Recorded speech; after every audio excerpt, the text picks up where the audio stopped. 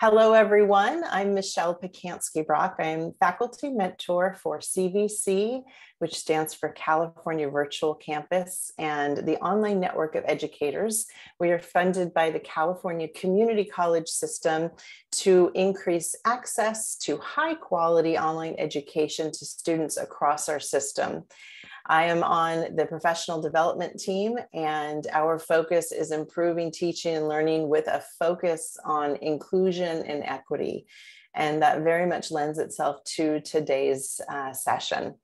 Again, this is the second in a longer series of humanizing, humanizing um, that we started a couple of weeks ago. And so we're going to be building on what we learned last time. And if you weren't here for that one, that's okay. You're going to be just fine. No worries. So our agenda for today, we're going to start with a warm up, just like we did last time. These, these warm ups are really designed to increase self awareness, which is an important part of equity minded teaching. Um, and we also are hoping that they are going to give us some knowledge and skills to start to decenter white dominant culture, which was a focus from last time. So today's warm up will be focusing on unpacking per- perfectionism. And um, then we'll be transitioning to the lean in portion, which is our presentation. And then, like all of our, our 90 minute workshops, there will be a hands on portion. And in today's hands on portion, you will have an opportunity to get started on your humanized homepage. Um, I do want to stress that our system does use Canvas as our learning management system. And so we will be focusing heavily on how to use Canvas to do this just in case there's anyone out there who's not a Canvas user. Um, and we do need you to be logged into a Canvas course, or if you're in our digital badge uh, cohort, then you'll want to be logged into your sandbox for that portion. So just have that in mind as we get closer to it. Um, that will uh, take place in separate um, Zoom rooms. We'll talk about that later. And then we'll be reconvening in the large room for our cool down, which will be a chance for you to share any takeaways or discussion items. Okay, so for our warm up today, um, we want to think a little bit about our last warm up. Um, our last warm together, we reflected on the values of white dominant culture. And we talked a little bit about how hard those values are to see, how hard culture is to see um, the longer you've been immersed in it. And we want to really aim to identify how these values influence the way we design and teach our classes. One of those values is perfectionism. And I can tell you that from my 12 plus years working with and supporting college professors in their teaching and learning, perfectionism is hands down one of the greatest cultural barriers that interferes with innovations in teaching, from my perspective. Perfectionism leads to constant comparing of ourselves to others, and it prevents us from recognizing that we are good enough the way we are. It prevents us from looking back and recognizing our growth over time. It keeps us in a perpetual state of feeling inadequate, which is exhausting and dehumanizing. Building self awareness of the influence of perfectionism in our lives can be empowering because once we see it and we can name it, we can start to push back on it. For today's warm up, I'd like to read a brief excerpt from a book titled The Book of Awakening by Mark Nepo. As I read, I invite you to close your eyes and focus on my words or focus on the image on your screen. I also invite you to change your body position to ensure you are comfortable. This is titled The Pain of Becoming. We do ourselves a great disservice by judging where we are in comparison to some final destination. This is one of the pains of aspiring to become something. The stage of development we are in is always seen against the imagined landscape of what we are striving for. So, where we are, though closer all the time, is never quite enough. The simple rose at each moment of its slow blossoming is as open as it can be. And the same is true of our lives. In each stage of our unfolding, we are stretched as possible. For the human heart is quite slow to blossom and is only seen as lacking when compared to the imagined person we'd like to become. It helps to see ourselves as flowers. As a flower were to push, if a flower were to push itself to open faster, which it can't, it would tear. Yet we humans can and often do push ourselves. Often we tear in places no one can see. When we push ourselves to unfold faster or more deeply than is natural, we thwart ourselves. For nature takes time, and most of our problems will stem from impatience.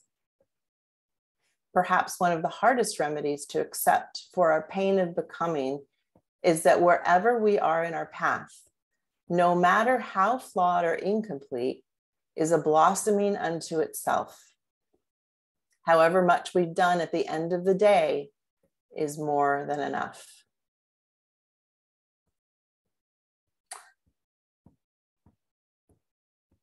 So to close our warm up, we're going to take two minutes of quiet time during which you are invited to quietly reflect on those words or write about what is resonating with you.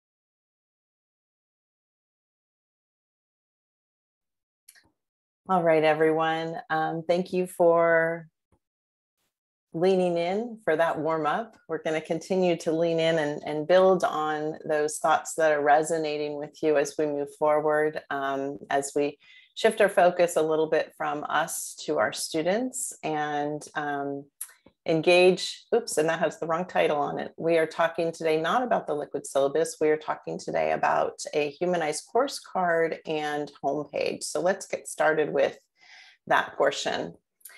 We could say that our goal for humanizing our online classes is to create a learning community. Now, usually in my discussions with faculty, when we talk about building community, one of the words that gets repeated quite frequently is engagement. So I want to unpack that word a little bit. Okay, so I've got some questions for you.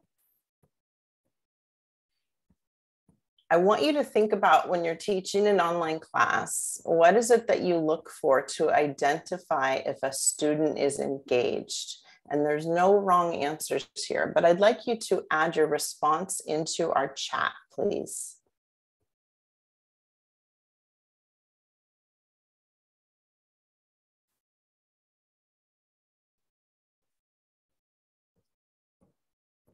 When you think about engagement and teaching online, how do you know when students are engaged? They ask questions, clarifying questions, participation via chat, polls, speaking out, responding to discussion questions. So now we've got some, some different responses based upon whether or not we're talking about live online or asynchronous. Um, let's see, participation, So uh, yeah, a lot of participation, right? Time spent in the course asking questions, great. So a lot of themes are starting to emerge here, meaningful replies to classmates, a sense of authenticity or bringing their lives or world into interactions. Great they're awake. That's a good sign. They show up. Yeah. And, and we want to ask ourselves, right? Does showing up mean that someone is engaged? I think that's a really good question to unpack. Um, so some wonderful asking for thumbs up in the chat. So little check-ins, right? There can be smaller indications and maybe bigger indications as well. Lots of really interesting uh, responses here. Okay, Thank you for that. I'm, I'm really noticing how many of them do um, reflect a live environment, which is which is intriguing to me. Um, and now we're going to ask another question. How do you know if a student is not engaged?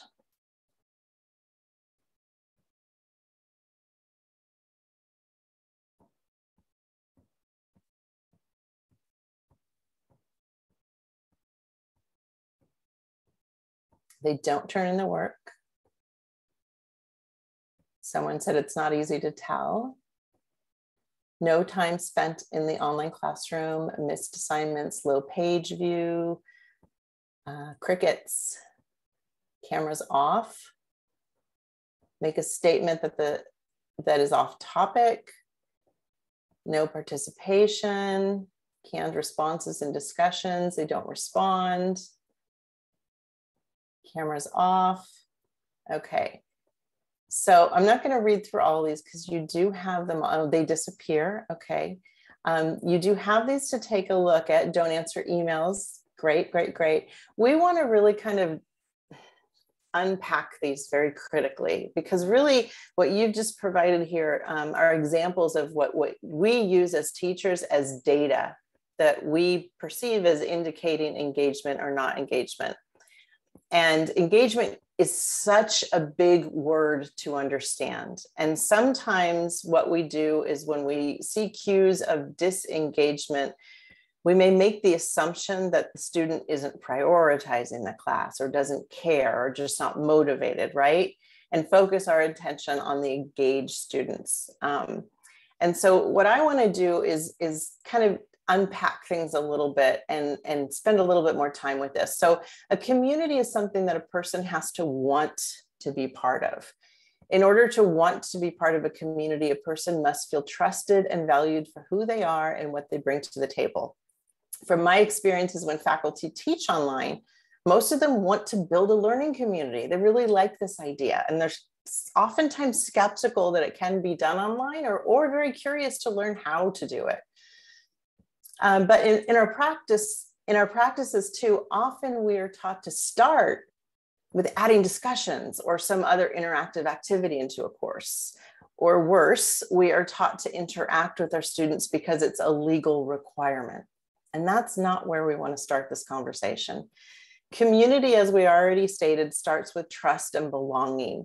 Simply adding a discussion to a class, depending on many factors, could promote belonging for some students for sure.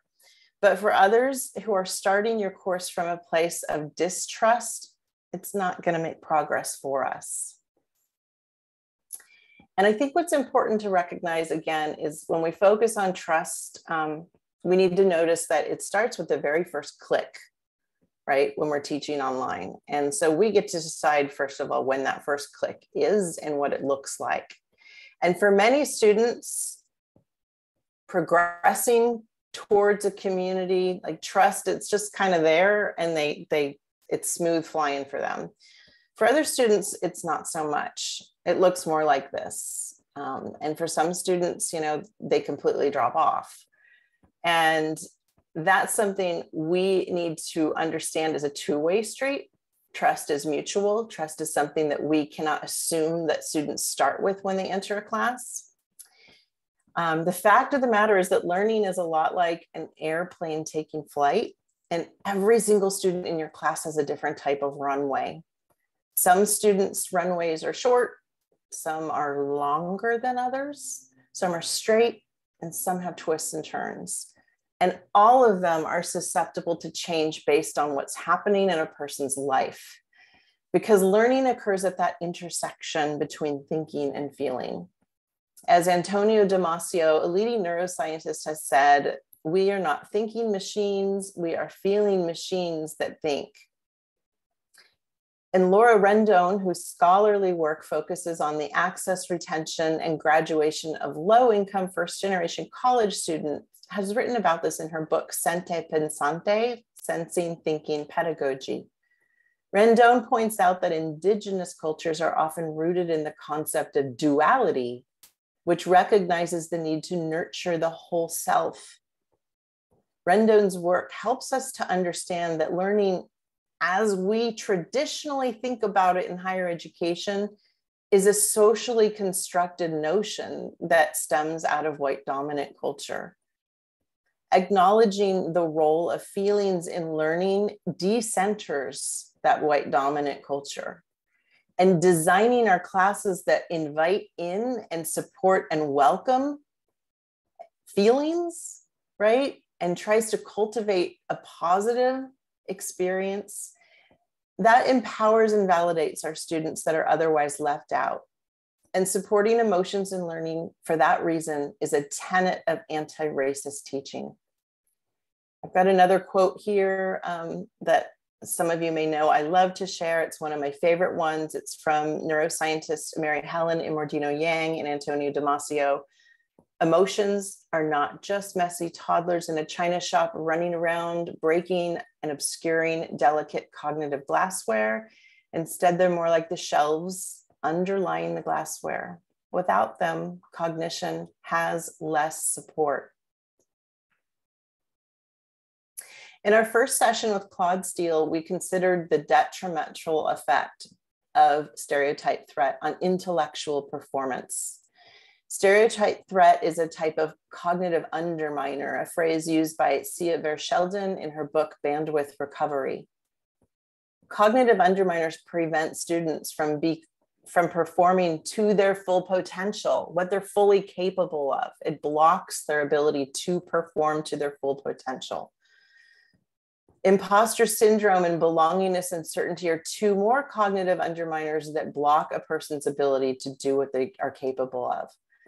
So we considered how stereotype threat can result in lower test scores. It can also result in disengagement and sudden withdrawal from a class. Imposter syndrome causes a person to feel like a fraud, like they're unworthy of achievement. It can prevent a person from applying for promotion or trying something new. Belongingness uncertainty is a very generalized experience that everyone experiences and is worsened by social isolation. And when we think about online classes, right, we're learning in social isolation unless we intentionally create that socialization. And the antidote to that is warm, encouraging invitations to connect with others. Becoming educated about and discussing imposter syndrome is shown to mitigate it, and creating an identity safe environment and fostering growth mindset are two proven ways to mitigate stereotype threat. So everyone here is susceptible to the social psychological phenomenon, but research shows that they affect people from non-dominant identity groups more severely. And that's really important to keep in mind. So as online ed educators, when we view our Canvas dashboards and we see who's logged in, who's responded to a discussion, who submitted their assignments, which are all important things we need to do. We need to also look at those who have not done those things and recognize that while we may take these as cues of disengagement, we they may be the result of cognitive underminers. There's likely a lot more going on there, and you can change that. You can help that. Creating an environment where everyone belongs is where we must start to build community. And in case you weren't with us for our last session, I just want to be very clear about what belonging is and what it isn't. Belonging is not the same as fitting in. Belonging is being accepted for your true, authentic self. Fitting in is when a person has to change who they are to be accepted. And that comes from the work of Brene Brown, her book, Braving the Wilderness. Now, as educators who work in the California community college system, we work in the largest system of higher education in the country. We serve 2.1 million students, and two out of three of the students served in our system is a person of color. I want to talk a little bit about data and keep that data point that I just mentioned in mind about who our students are.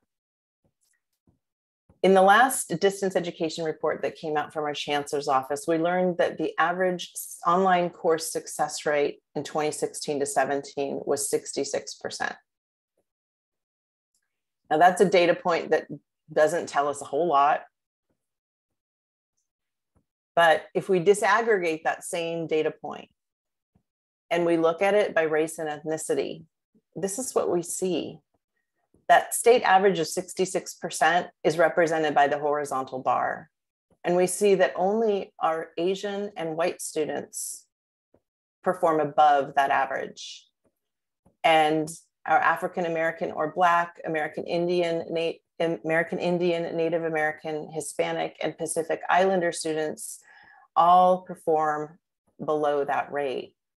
So we see that our students of color who are two thirds of the students we serve, are disproportionately impacted in our online courses. Now, these gaps exist face to face as well. I didn't have that data, so I couldn't show it, but I just want to be sure that's clear that the gaps are bigger online. And I believe when we look at what the research shows about supporting uh, underrepresented students, we see that relationships and human connection validation from an instructor is something that is a game changer. And so, if we aren't really making that the priority of where we start in an online class, then that's contributing to these equity gaps. Closing equity gaps is our responsibility as California Community College educators, and it's one of the goals in our Chancellor's vision for success. And doing so requires us to be race conscious, not colorblind. Okay, so if we look at that data point 66% and leave it at that, that's colorblind. Disaggregating it by race and ethnicity, that's being color conscious. And you see how it opens new questions for us.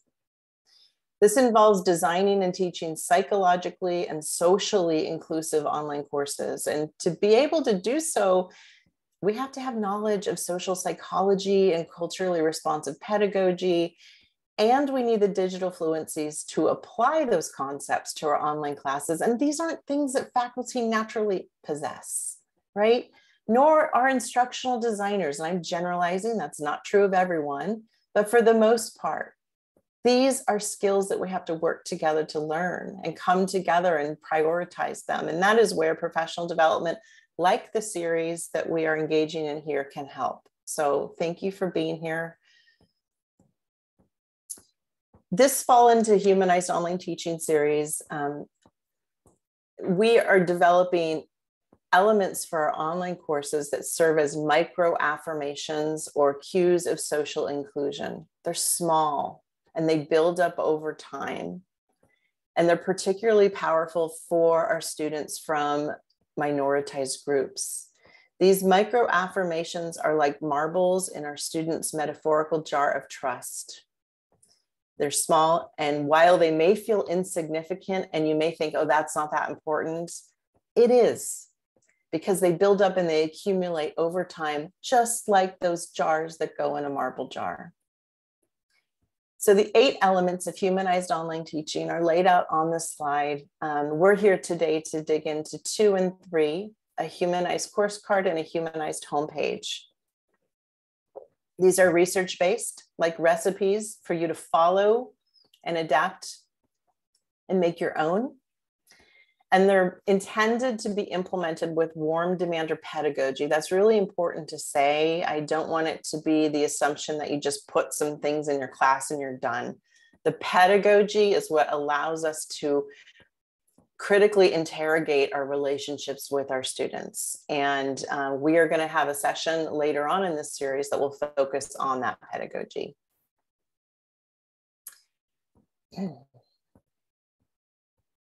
Um, Tracy has asked a great question. I want to address that. Um, Tracy has asked, what is the specific definition of course success rates in education? And that answer varies based upon where you work. The data that I showed you for the California Community College system, success rate is de defined by students who complete a course with an A, B, or C. That's what that data was looking at. Thanks for asking that, Tracy. And Helen, thanks for helping me manage those, those questions. I appreciate that. Okay, so when we approach our teaching, we obviously need to focus on what we do as instructors. But at the same time, we need to be centering our students' experiences. So not just thinking about what we're doing, but thinking about how what we do affects the way our students feel. And to do that, we need to know who our students are. That's an important part of this puzzle, and we'll actually be digging into that more in our next session. Um, and we need to think about how what we do affects all of our different types of students. One way can, we can do about this is to think about the flow of a course experience for students. We often think about a course starting on day one, but for students, just like for faculty, it actually starts way before that. The moment a student registers for your class, we could think of them as your student. They're thinking about what you are going to be like as an instructor. They're thinking about what your class is going to be like. And in our first session, we considered how a liquid syllabus can be used as a kindness cue of social inclusion. A public, mobile friendly, beautiful website with a warm, brief video and asset based language sends a powerful cue to students. So ask yourselves we talked about sending that liquid syllabus out a week before the class starts, which is a great strategy. But what about across the institution if those links could be made available in the class schedule so students could click on them and make more informed decisions about their classes? Something to think about. So in this session, we're building on that foundation. Okay, so we're thinking about this period here as our high opportunity zone for these cues, kindness cues of social inclusion. Last time we focused on that liquid syllabus, and this time we are focusing on week one and looking at a course card and a humanized homepage as two really powerful cues we can include. So what is a course card in Canvas? Well, it's that little icon that gets represented on a student's dashboard. And I'm just gonna play this super quick video when a student logs into Canvas, they're taken to their dashboard where they see a course card for each one of their courses. A course card can be customized by the teacher of the course to include a customized photograph, like the one on the left. Without the course card image, a course card appears like the one on the right. And students can change the color. Which course card looks more welcoming to you? So again, we're talking about a really subtle clue here and very low hanging fruit. But when a student it's logs very into interesting, folks, there is research that shows that these tiny little visual cues of inclusion matter in online classes. So there's a research study which again, different context, but I think we can extrapolate here. This research was done in a MOOC, a large MOOC which if you don't know is a massive online course. It's, it's actually public and um, open to anyone to register in. In a research study, a gender inclusive image, like the one you see on the right up there, not the one on the left. So this is this was how the research was conducted. That gender inclusive image on an advertisement for a STEM MOOC or massive open online course increase the click-through rate among women, but not men, by 26%. So we know that women are underrepresented in STEM and that underrepresentation contributes to their lack of interest in being in, of participating. And so it's it's fascinating to see that significant change there. And in that same study adding a gender inclusive course image and an inclusivity statement that basically said everyone is welcome here and everyone can learn here adding that to the enrollment page raised the proportion of women enrolling in the stem course by 18% and that study included 63000 people so when we think about our course cards and we keep those equity gaps in mind, right? So a lot of our students are doing fine. Closing equity gaps means really thinking critically about changes we can make to support our students who need something different. So including a cue of inclusion that cues students from one or more minoritized groups, and that's up to you to determine how, how that fits into the discipline that you teach can be something that contributes to this change towards an equitable online, I should say, inclusive online learning experience that will lead us to closing those equity gaps. I'm not saying that this one thing alone is going to do that, but it's it's part of the puzzle. So adding a course card in Canvas is actually quite simple, and I have instructions here for you that I'm not going to go through here. But I do want to say one thing. When you look for your image for your course card, don't start with Google image search. Go to an image repository like the links that we have on the screen. And this Canvas guide will walk you through how to search Unsplash, which is now actually linked into Canvas. Um, and if you can't find the image in Unsplash, check out some of the other resources that we have here and, and let us know if you have examples of other image repositories um, that represent images of diverse people.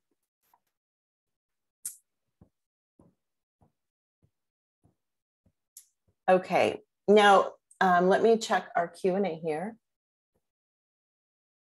So Janet is asking about the liquid syllabus. If I send it one week before the start of the class, do I need to send slash eliminate the welcome letter? So Janet, um, it's great to hear that you have the welcome letter included in your online teaching practice. And I think about the liquid syllabus as a more humanized welcome letter. So I think it's, um, I, I wouldn't say eliminate it. I would say that you're upgrading it by doing that. So yes, they do serve the same purpose. I hope that helps. Um, okay, so moving on, before we get to our homepage, I just want to touch upon some interesting research um, by Ambady here. And this goes back decades. Uh, there is research that shows, and this has been repeated in many different contexts, including in education, that viewing a small selection of an interaction results in an accurate conclusion about the observed person's macro traits. And macro traits are described as liking the person, trusting the person, their competence, dominance, nervousness, warmth, likability, expressiveness, sympathy, and politeness. When this research was done, they actually used silent video clips. It was purely the nonverbal communications in the video that cued the, the, the, subjects about these things. And so in the research, they did a test after certain increments of watching the videos, and then they did research after a longer period of time actually engaging with the, the, the person or people. And the two were actually quite accurate. So one study showed that viewing a 30 second silent video clip of a professor actually accurately predicted the end of the term instructor evaluations. Now, there's lots of things we can do with that. Here's what I do with that. If we know that about the research, if we know that, then I see that as an opportunity to use brief videos in our liquid syllabus, on our homepage, in our course materials. Super brief. I'm talking recorded with a smart smartphone or a webcam, uploaded to YouTube or somewhere else and captioned. That is a powerful tool for closing equity gaps. So, what is a humanized homepage? The goals of a humanized homepage it should be visually pleasing. It should greet students with your warm human presence. And it doesn't have to start with a video. Make that your stretch goal. Start with a casual photograph of yourself. Think beyond a professional headshot. It clearly guides students to their next step, provides relevant and concise information. And what do you find on a humanized homepage? A banner with sufficient color contrast and alt text. We need to bake in accessibility to this process. Accessibility can't be an add on, it's part of what we do to ensure all of our students are included. A brief video with accurate captions or a friendly photograph of you. A start here link that takes students to their first module, which assumes you're using modules. And I'm going to um, ask Helen about um, getting a link to the CVC OEI course design rubric. That was something I meant, I meant to add in here. For those of you who are just getting started with thinking about course design, there are a lot of assumptions that we're making here. Um, and so if you aren't familiar with the CVC OEI course design rubric, I want you to check out the link. Just open it up after Helen puts it in the chat and save it for later and know that it's a great resource to really guide you through um, getting started and helping you to understand um, course design. Yeah, so let me dig into Veronica's question here. Um, let me read it first. I'm concerned about reverse discrimination and far right individuals who may feel left out. I thought this class would be on humanizing online courses for all students. I did not realize that the main focus is on non-dominant groups. So our main focus here is closing equity gaps. So that's how we define equity in the system that we work in. And so what we're doing is looking to the data to see who is disproportionately impacted and looking to the research to see what practices we can implement to support those students towards success. And so that is the framework that we're working in here. So I hope that that addresses your question. I will also say that everything about humanizing is good practice for everyone. Everything about humanizing is good practice for everybody, but it has the potential to increase success rates for our students who are under our students of color who are underrepresented when we look at our data. Um, yeah, let's see if I have another question here. Okay. Um, thank you, Veronica. And I, thanks for acknowledging that, that it should be in the title. I think what you're getting at is that maybe our system needs to be more explicit about how we are defining equity, and I think that that's a that's a really good point because um, I think I often hear that word used more than I have it actually unpacked and explained, and then I hear it unpacked and explained. All right, so how are we going to do this? We have some great resources for you we have developed two templates that you can adopt. And we're going to show you how to do that. These are two different templates that you can import right into your Canvas course from the Canvas Commons. And if you don't know what I'm talking about, you're going to have an opportunity to learn. So you get to pick one of these, or you can start with a fresh, clean page on your own if that's something you feel comfortable with. This is an overview of the steps, and you're going to have some hands-on time to do these steps. The first step involves finding the template in Canvas Commons and importing it into your course. The second step involves creating your course banner in Canva, not Canvas, Canva. Unfortunately, they're very close in spelling. Canva is an online, free online graphic design tool that you can use to, to create a banner. And then step three is customizing your homepage. So it's putting all of your own content, it's making it your own adding your banner to your homepage with alt text and making it responsive, embedding your video or photo, editing the links on your homepage. And then step four is setting your homepage in Canvas to be sure that when students go into a course, they're going to see it. So I'm gonna, we have all these steps laid out for you with videos, folks. And in just a minute, we're gonna let you. Hi there. We're gonna let you pick one of these groups to go into. Okay, I'll go back to the slide in a second.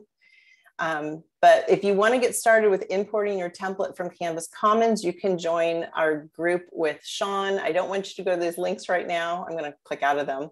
I shouldn't have done that yet. I'm confusing people. Let me do a quick demo so that you know what we're talking about when we say import from Commons, because I want you to choose your group mindfully. I am now in uh, Canvas on a on my dashboard in Canvas, okay?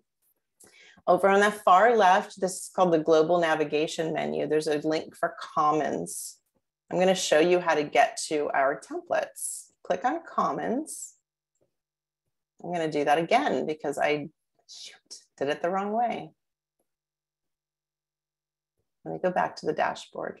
I want to show you a little trick here.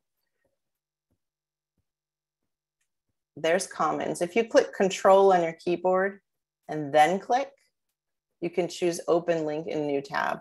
I always forget to do it, but if you don't do that, you lose your place in the in your where you are in Canvas. So I recommend doing that. So here's the commons. I'm going to type in FIHOT, which stands for Fall into Humanized Online Teaching. And you should see homepage example one and homepage example two. So if I click on example two, if this is the one I want to import, you can see a preview of it here to be sure it's the right one. And then I'm going to click on import, download, and here is where you search for the course you want to import it into. So you need to know the name of that course. Mine is, um, hmm.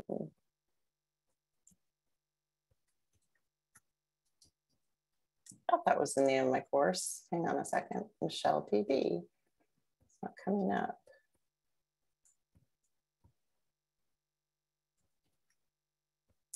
Let's see if this is it.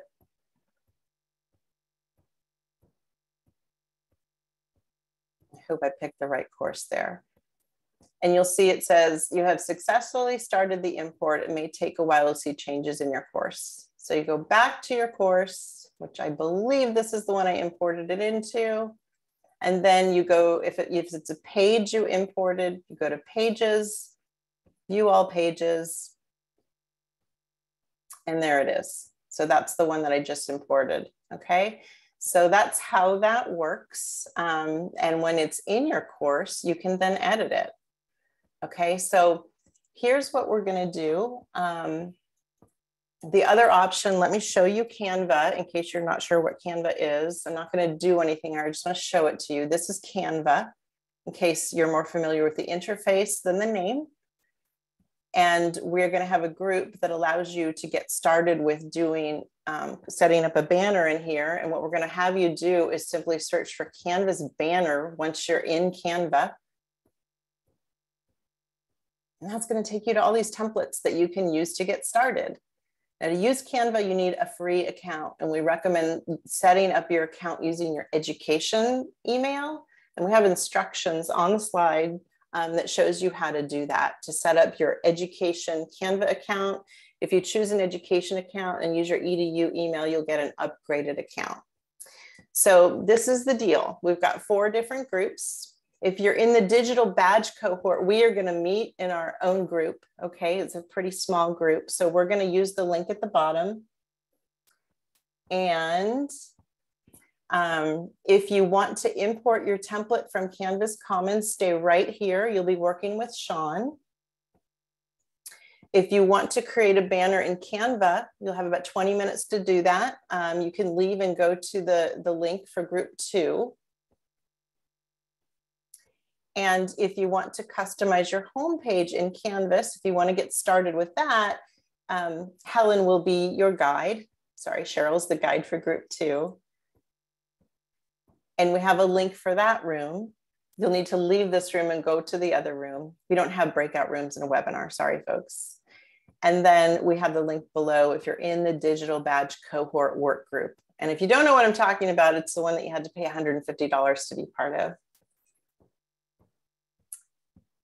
Okay, so all of those links are now in the chat and I want you to go ahead and follow the path that leads you to where you want to be. And that means I am now going to leave and I need to make Sean, is Sean a host? Michelle, how are we going to know when to come back? Did you say Um, a time? I didn't. Let's come back at 1145. 45. Okay. Okay. Um, and is Sean a host? I'm in as a panelist. Let me see if I can upgrade him. Thank you. Where are you, Sean? Oh, and you know what? We need to copy these links before we leave the webinar. Sean, I'm not, oh, never mind. You're- Michelle needs to upgrade Sean. Yeah, I can't. Yeah. Okay. Uh-oh. What? Am I oh, it just clicked on the link. Hold on. The reminder, I appreciate it. Let me back out of this. Okay, so I'm in a course and I'm going to show you how to, um, actually, let me go back to my dashboard and start with a course that doesn't have a, let me go into this one. I don't know what this looks like. Okay. So I'm going to go from your course, you're going to go down on the left column in your course navigation menu and look for settings. So you're going to click settings. So Catherine, follow along with me. I'm going to show you how to create a course card in Canvas. A course card is an image. And right here, if you don't have a course card selected, it's going to look like this. And it's going to give you the option to choose an image. So I'm going to click there. Now you'll be prompted to upload an image from your computer, which you can do if that's what you want to do. Or you can go straight to Unsplash by clicking on the tab at the top that says Unsplash. Unsplash is an online image repository and all of the images there are shared for reuse, okay? And you can enter a word there, or I could do, I don't know why you'd want a picture of a birthday cake, but um,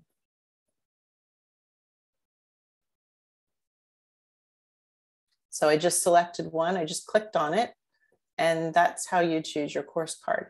Now, if we wanted to do something different, like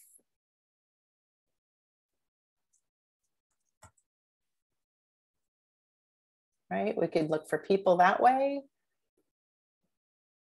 And this is when, depending on the, the type of picture that you're looking for, um,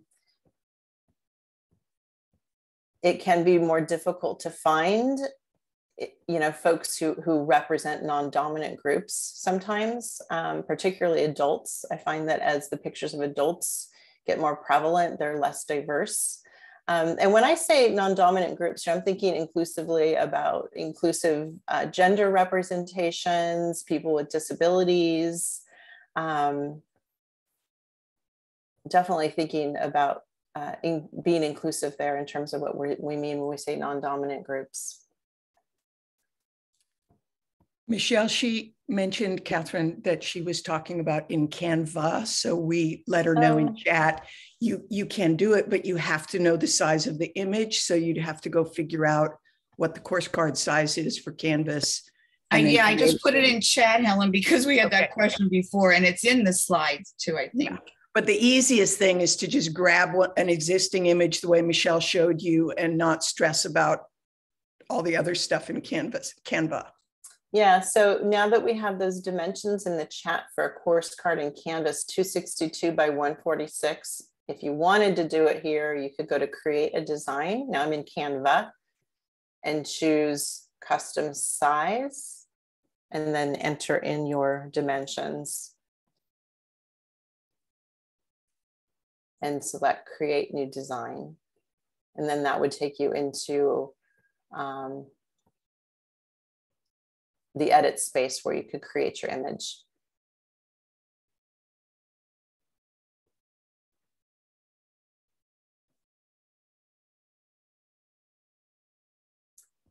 So the banner size image that um, is recommended, I'm going to go back to Canva and just look and see what they have in there because those those sizes actually work pretty well.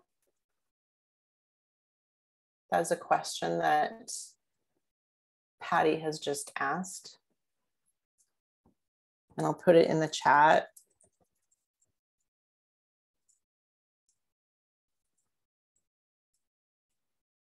1000 by 250 pixels.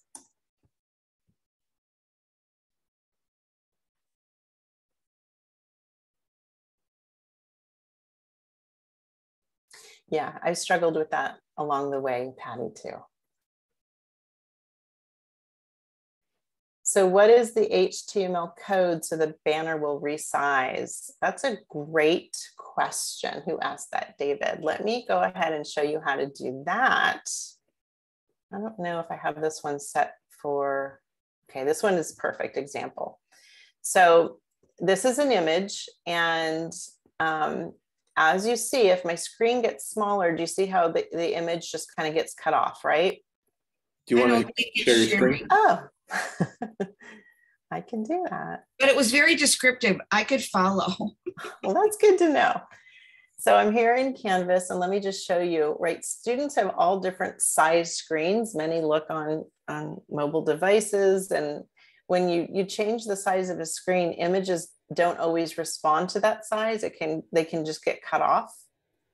So there's a way you can, we use the phrase hack the code to make it responsive. I'm going to show you how to do that. I'm going to click on edit to edit this page. And now we need to go into the code, the HTML code side or the rich content editor. And to do that, I think there's a couple different ways to do that. I click down here on those little two carets that kind of look like that, carets on their side. This is our code.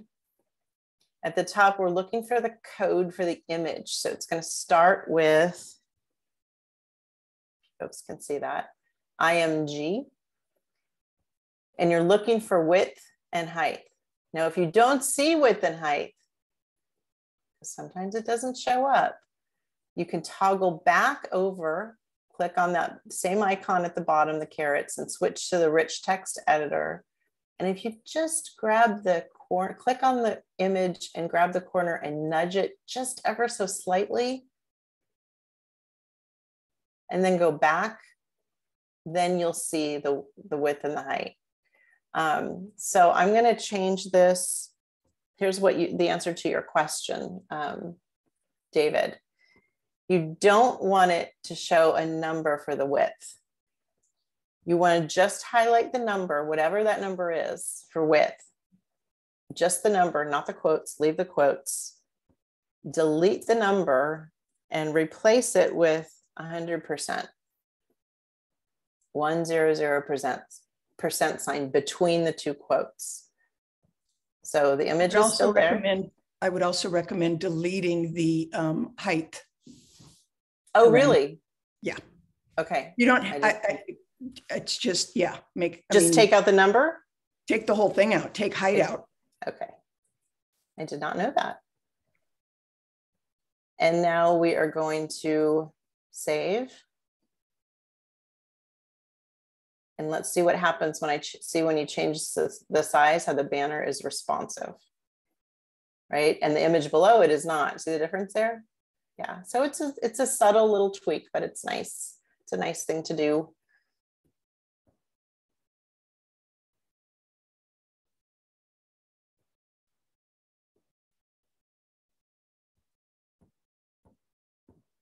Okay, any more questions? Raise, feel free to raise your hand. We've got about four minutes left. I'm happy to answer anything you might want to ask. Clarissa, hi there. Hello, how are you? Such great information. All of you so knowledgeable. Uh, I love it. And um, one question I have a, um, I used an image online for my dashboard but can I share my screen or no? Well, I'll show you. I'll turn my, if I turn, no, you know, the computer's not on. I have a, uh, something that says it's a fall picture that I got from the internet, but it, it's giving me a color. It wants to assign it a color. So what I did is I try, it's like orange. I wanted it to be transparent. I can't turn the color thing on, on canvas. And then I have one for the summer and it was a summer beach scene and I wanted it to be the beach scene and it has teal. See, like that. Mm-hmm. It- So it you're fogs talking. You're talking, yeah, and that's That. not something you can change. That's, Oh, I find the most neutral one to select is the gray. the but gray. Here, here's the thing. This is controlled at the user level. So you can set whatever color overlay you want there. It's How about if I don't want it? You can't take it off. And your students are going to control it at their local level. So whatever you pick is not what your students are going to see. Oh, So you have to I, kind I of let don't that. want. I don't want a color. I, I, I, it, it does the three little dots. Ha, it, it doesn't. It, Okay, it- I'm, I'm three- hearing, I'm hearing different information that you can control it. Who wants The wants three to? dots across from dashboard. okay, I've done that. Dots across from dashboard. at the Oh, up top. here. I didn't know that either. Oh, Voila. that. Is that new? Nope. No. What's the wrong answer, Sean? Oh. They changed it. They just changed it last week. That's help. That's really helpful. Oh my God, you are But a it- genius. Who was but that? it is Sean. Thank Sean. you. Sean, thank you. Am I Oh. correct that it's still controlled at the local level though? That's correct. Yeah, that's Yes. correct. Okay, so Love if it. we set it this way, does it, does it, I assume it still defaults as a color? Yeah. Probably, okay. Yeah. Yeah, it Randy, I'm pretty happy to see that too. Yes, thank you. Thank you very much. That, that's love all I needed. It's good. I've already learned a couple of new things here. It's great. Um, and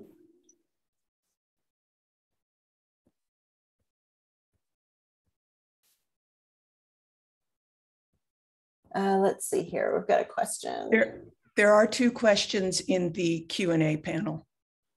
Can you place an image at a specific location? Yeah, that's part of editing a page in, in Canvas. Um, and working with images, it, it can get tricky, but any page in Canvas you can add images to.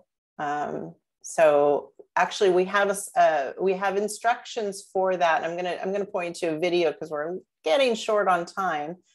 But if you go to the slides.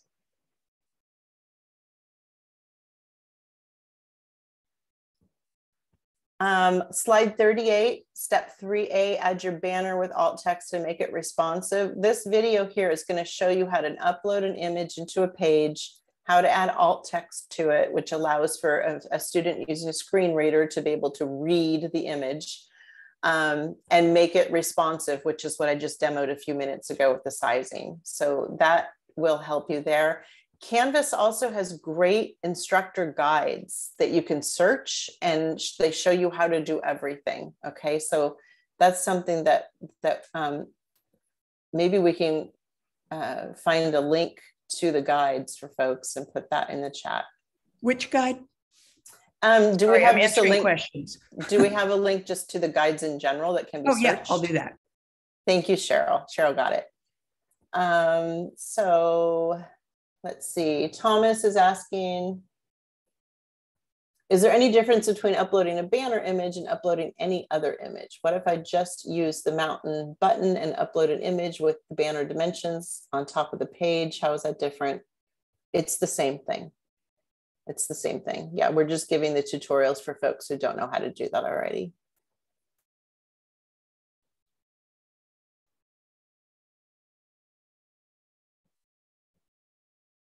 Okay, great.